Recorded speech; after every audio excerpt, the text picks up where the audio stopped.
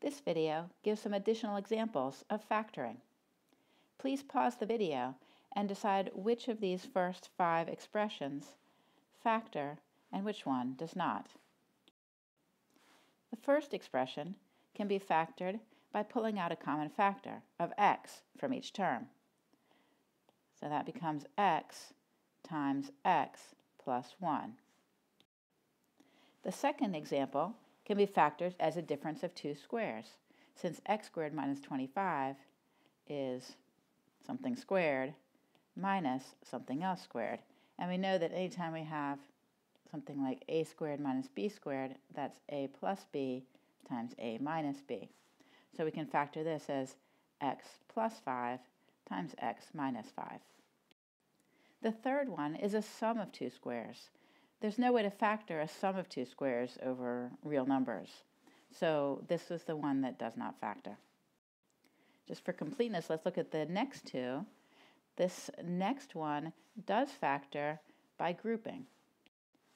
When we factor by grouping, we pull the biggest common factor out of the first two terms. That would be an x squared. That becomes x squared times x plus 2.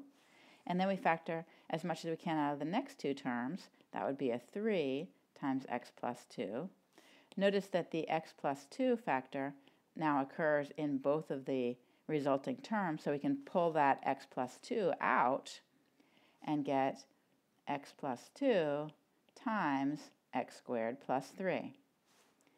We can't factor any further because x squared plus 3 doesn't factor.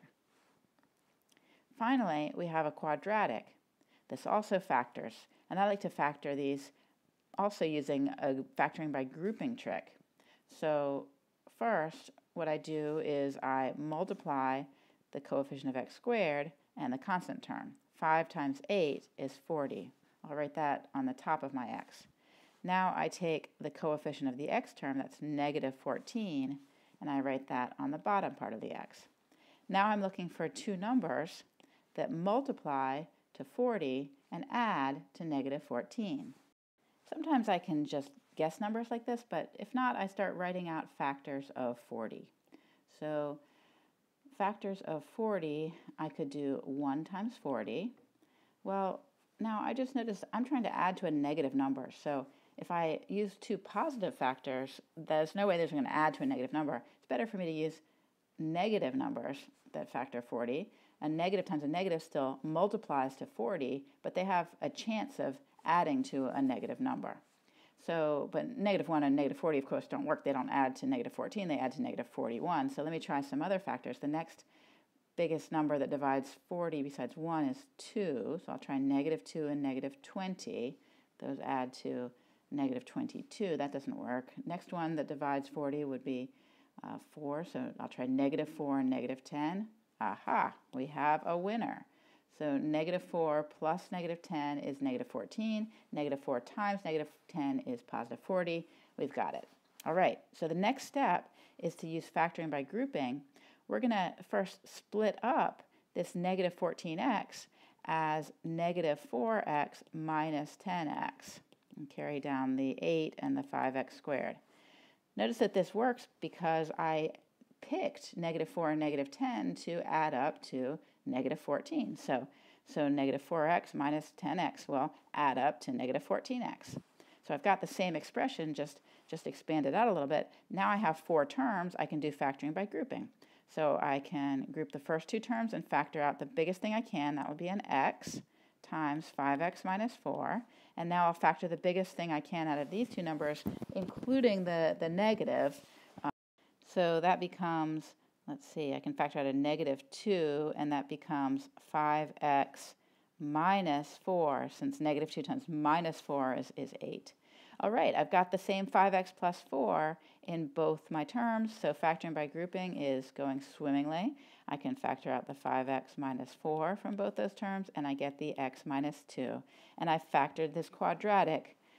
If I want to, of course, I can always check my work by distributing out, by multiplying out. So a check here would be multiplying 5x times x is 5x squared. 5x minus times minus 2 is minus 10x. minus 4 times x is minus 4x, and minus 4 times minus 2 is plus 8. So let's see, this does check out to exactly what it should be. So that was the method of uh, factoring a quadratic. And all of these factor except for the sum of squares. So we saw that factoring by grouping is handy for factoring this expression here. It was also handy for factoring the quadratic indirectly after splitting up the middle term into two terms. So how can you tell when a, a, an expression is, is appropriate to factor by grouping? There's, a, there's an easy way to, to tell that it might be a candidate, and that's that it has four terms. So if you see four terms, or in the case of the quadratic, you can split it up into four terms, then that's a good candidate for factoring by grouping because you can group the first two terms, group the second two terms. Factoring by grouping all, won't always work on, on expressions with four terms, but, but that's like the first thing to look for. So let's just review what are the same main techniques of factoring. We saw these on the previous page. We saw there was pull out common factors. There's difference of squares. There's factoring by grouping. There's factoring quadratics. And one more that I didn't mention is factoring sums and differences of cubes.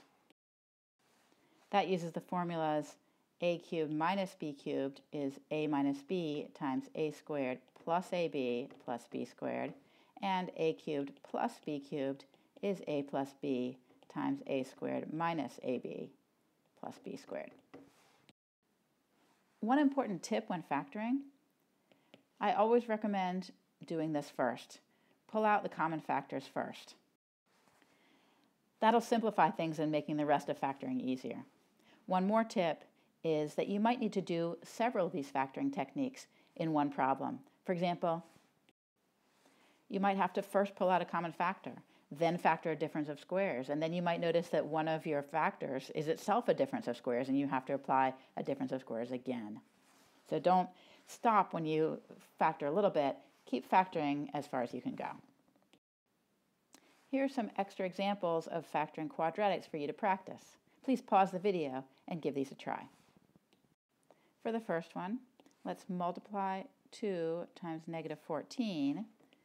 That gives us negative 28.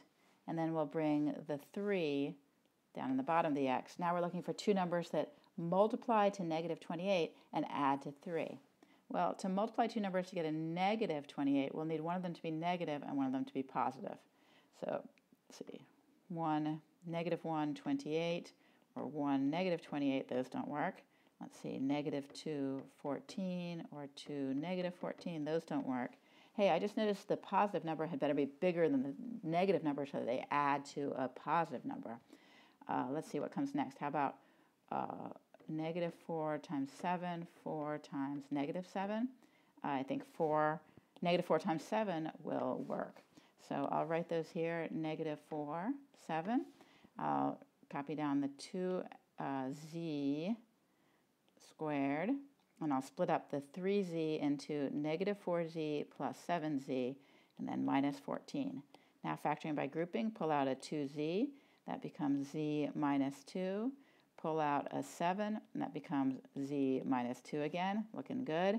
I've got 2z plus 7 times z minus 2 as my factored expression. My second expression, I could work it the same way, drawing my x and factoring by grouping, that kind of thing. But it's actually going to be easier if I notice first that I can pull out a common factor from all of my terms. That'll, that'll make things a lot simpler to deal with. So notice that a 5 divides each of these terms. And in fact, I'm going to go ahead and pull out the negative 5 because I don't like having negatives in front of my squared terms. So I'm going to pull out a common factor of negative 5.